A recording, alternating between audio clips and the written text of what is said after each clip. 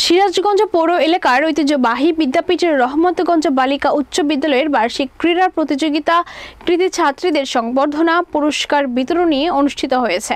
বিস্তারিত দেখুন সিরাজগঞ্জ জেলা প্রতিনিধি আশরাফুল ইসলাম জয়ের প্রতিবেদনে।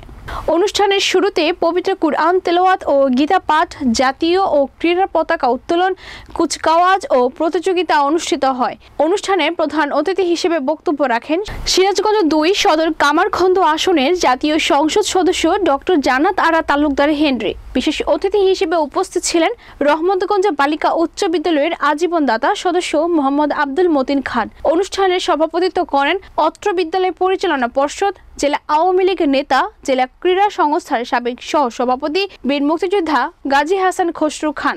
স্বাগত বক্তব্য রাখেন রহমতগঞ্জ বালিকা উচ্চ বিদ্যালয়ের প্রধান শিক্ষক মোহাম্মদ নজরুল ইসলাম। অনুষ্ঠান শেষে বিজয়ীদের মাঝে পুরস্কার বিতরণ করেন এ সময় অন্যান্য শিক্ষক, কর্মচারী, অভিভাবক, সুধীজন, গুণীজনেরা উপস্থিত ছিলেন।